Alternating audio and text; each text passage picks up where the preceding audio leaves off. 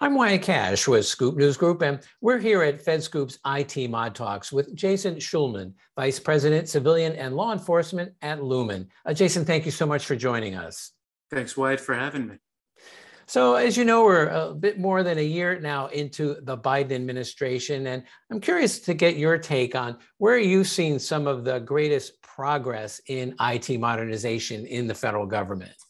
You know, I think the, the greatest progress we can see in IT modernization really focus around our national cybersecurity posture. Uh, the COVID 19 uh, pandemic has made it clear that the future of work is hybrid.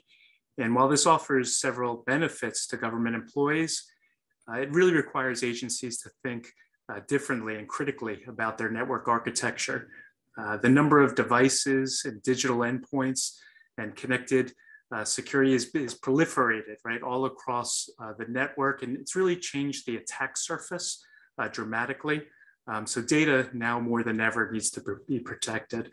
Uh, the biden administration uh, has really formalized the necessary steps required for agencies to move towards a zero trust network architecture.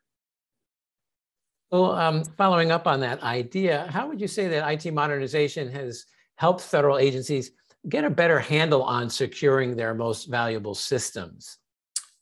You know, agencies have really begun embracing an as a service framework.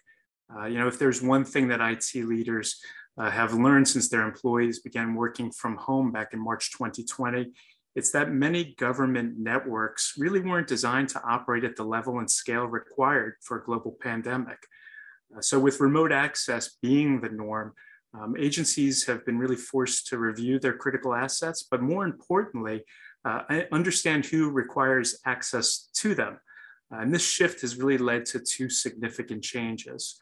Uh, secure access, secure edge, SASE technologies, along with zero trust architecture principles. Um, you know, this consumption-based model I referenced earlier, um, it's really accelerated IT modernization. Um, it's allowed the flexibility and scale without government agencies having to uh, dedicate their own resources. Some great points. Uh, next, let me ask, you know, the White House also issued an executive order on the customer experience. And so I'd be interested in your thoughts about how federal agencies are taking uh, constructive steps to deliver better digital services to American citizens. Yeah, this is a this is a great executive order. It really focuses on the customer experience, and you know, we've seen federal agencies um, start implementing services to the edge uh, using like edge cloud uh, technologies. And this is really putting data closer to the digital interaction. Now, this is really important uh, when applications are being used where milliseconds matter. Uh, and, and I'll give you an example. Lumen is the internet service provider of the US Postal Service. And in working with the Postal Service to increase network services in anticipation of the administration's uh, free COVID 19 test kits. The Postal Service required a stable and secure um, you know, in network service uh, during the program's launch. Uh, they were responsible for the registration and the tracking uh, and the distribution of COVID 19 kits uh, to, to all US uh, citizens. Um, you know, I think this is a great example of uh, serving this executive order, uh, delivering a better digital experience to American citizens, Lumen's a proud partner of the US Postal Service and even more proud to be serving mission. I really appreciate you sharing that example with our viewers. Um, and then lastly, Jason, um, you get to see a, kind of a wide view of the federal landscape. Uh, what across that IT landscape stands out to you as having the biggest potential for modernization or maybe the biggest need in coming years? You know, I think the biggest potential can be found in uh, operational technology. Um, historically, OT systems, operational technology systems, have been air gapped or logically separated from, from IT systems. Um, IT networks really focus on data, where OT networks really focus on process.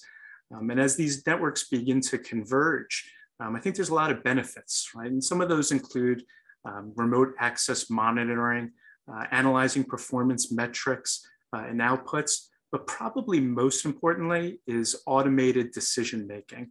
Um, this is where artificial intelligence and machine learning can be used to really extract the value out of the Internet of Things. Um, and I think that's where the biggest potential uh, can be found in the coming years. Well, Jason Schulman, thank you so much for sharing those examples and really sharing some of your insights as well on IT modernization in the federal government. Thanks for having me. And look for more of our coverage on IT modernization on fedscoop.com. Thanks for joining us.